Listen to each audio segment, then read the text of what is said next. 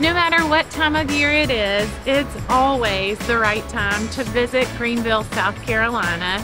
It's not a secret anymore that this is the place to be, and especially during the holidays, no matter what holiday you're celebrating, you can visit Greenville, South Carolina and make new memories that you'll cherish forever.